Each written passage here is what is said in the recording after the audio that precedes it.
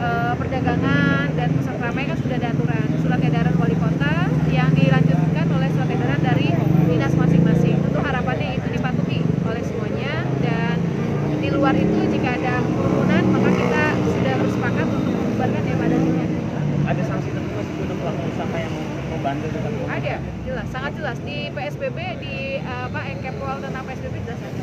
Jelas ada sanksi-sanksi administratif sanksi eh, denda maupun sanksi yang lainnya sudah sudah kita atur Oke, untuk malam ini ada berapa personel sih Pak Waka dan dari Kalau dari Polres Tangsel bersama Kodim kurang lebih kita perkuatan hampir 700 personil tugas keamanan yang tersebar malam ini. disebar ke tiga rombongan itu Pak? ya, lima posko Oh di lima posko. Ya, posko dengan Posko dan mengamankan pengamanan. di titik-titik pengalian arus, di titik-titik pusat keramaian masyarakat, saya Untuk titik-titik ini apakah memang sudah dipetakan sebagai lokasi yang menjadi titik keramaian Pak? ya.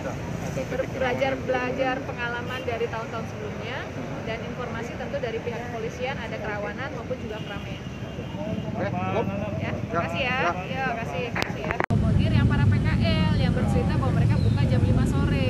Makanya kita kasih kesempatannya makanya boleh dari eh, take away sampai jam 10 malam. Itu yang itu bagian dari kebijakan kita Oke. melihat dari sudut pandang dari PKL yang baru buka jam 4 jam 5 sore Itu yang berlaku sampai tanggal 8 berarti ya, Bu sampai ya? tanggal 8 nanti kita akan evaluasi lagi.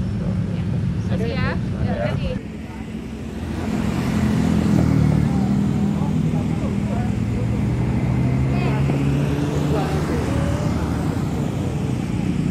Jangan lupa subscribe ya.